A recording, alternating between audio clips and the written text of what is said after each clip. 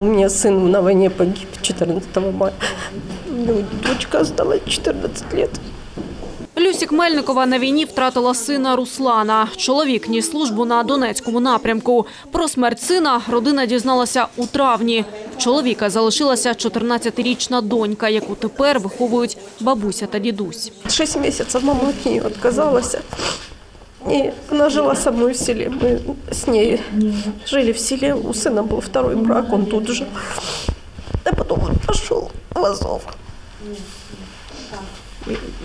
Добровольцами погиб. Весной, да. Нам пришлось переезжать сюда.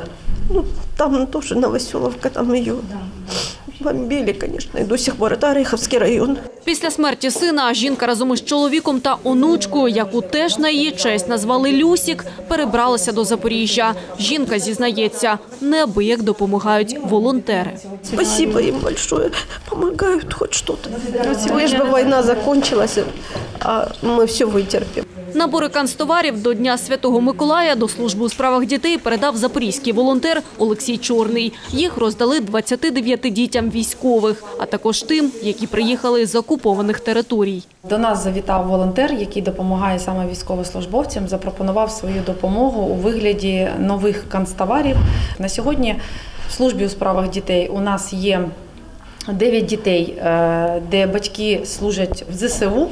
А д- 19 дітей це тимчасово окуповані території. Діти приїхали без батьків і вони тут перебувають у наших е, громадян е, на тимчасовому перебуванні.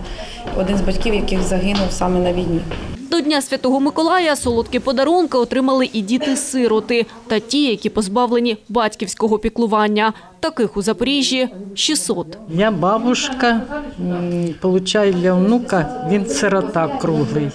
Ми з дідушком воспитуємо двох внуків, будемо говорити так. Кожен год подарки отримуємо. Юлія Сенек, Владислав Киящук, Суспільне новини, Запоріжжя.